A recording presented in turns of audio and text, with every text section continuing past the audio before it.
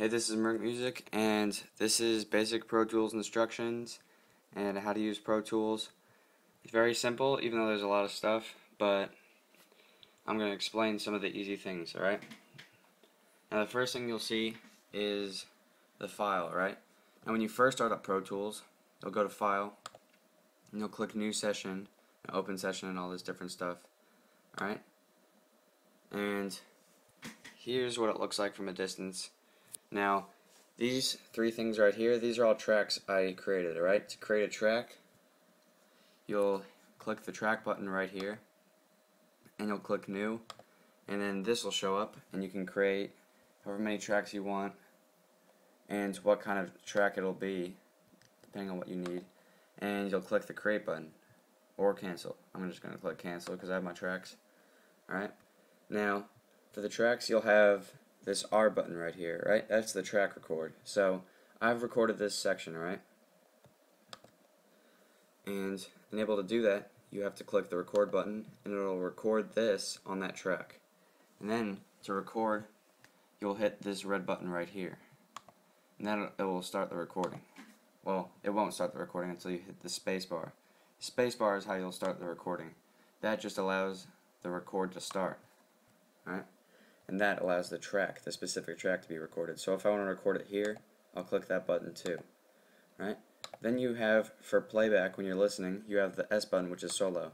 That'll mute these two tracks, and then it'll just play this one track. Right, then you have the mute button, which will mute a specific track. And you can mute all the tracks if you want to, or just specific ones, whatever you need. Then, right under these three buttons, you have the waveform button, alright? You can also change it into volume, which will allow you to control the volume level. You bring it up and down. You have the mute, which will just mute the track, and you have the panning button, which will play it. If you bring it up, it'll play on the left speaker, and it'll show you how far you're bringing it up. Right. Then you can bring it back to the middle, and bring that line down. We'll take it to the right side. All right. And try to get it back to level at zero. It is really hard to get it back to zero. Alright, whatever. Alright, I got it.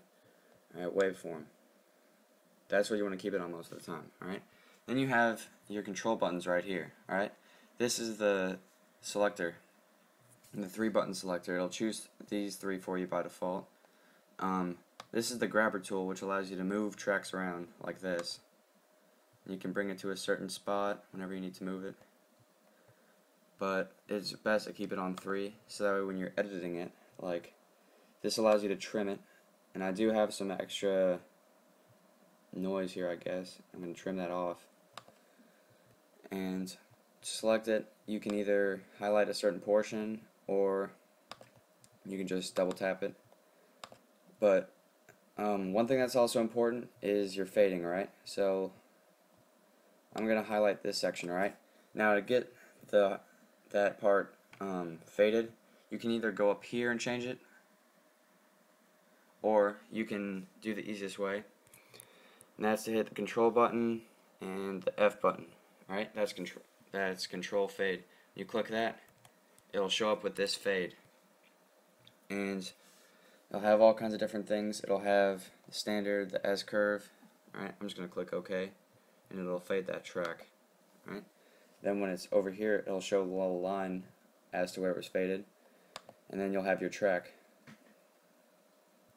Alright, I'm going to play that so you'll, you'll be able to hear the difference because the volume will start to come in. Uh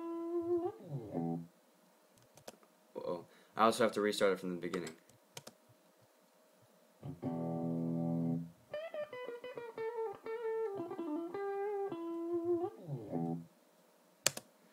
Very simple stuff right here.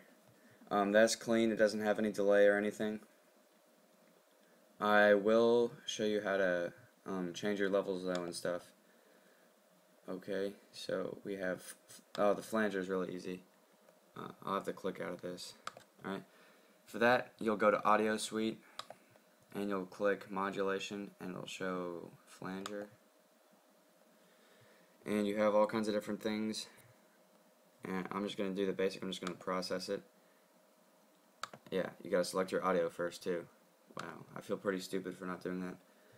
I will highlight the whole section, click audio suite, go to modulation, flanger, and I'll process it now. And it's a small track, so it goes by pretty fast. And just click out. And now I can play it, and it'll have the flanger sound.